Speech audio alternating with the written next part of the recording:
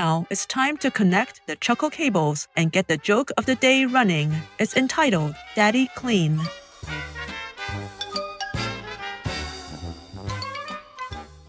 Two boys are very proud about how clean their fathers are. My daddy is very clean. He takes a shower every single day. That's nothing. My daddy is even cleaner.